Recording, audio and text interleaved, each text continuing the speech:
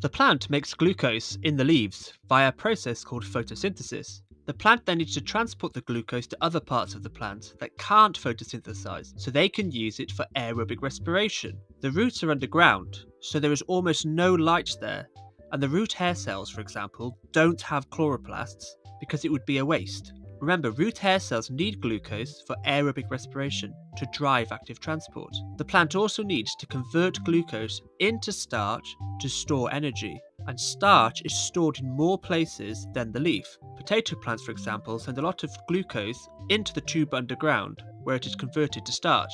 However, the evidence suggests that in most plants, the glucose is converted into sucrose before it enters the phloem. We often refer to where the sucrose is made as the source, which is the leaf, of course, and what receives the sucrose as the sink.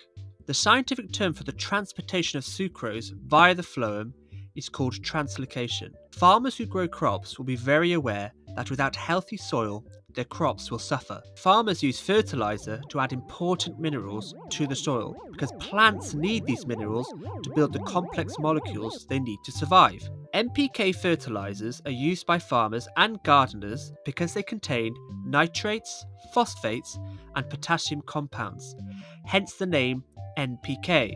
Note these are the elemental symbols for nitrogen, phosphorus, and potassium. Plants use nitrates to make amino acids for protein production. These are essential for cell growth. Phosphates are important because phosphorus is needed to make DNA and cell membranes. Potassium is needed for the enzymes involved in respiration and photosynthesis.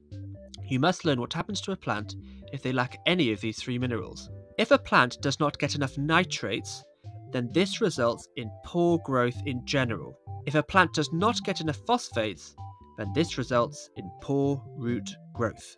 If a plant does not get enough potassium, then this results in the leaves yellowing.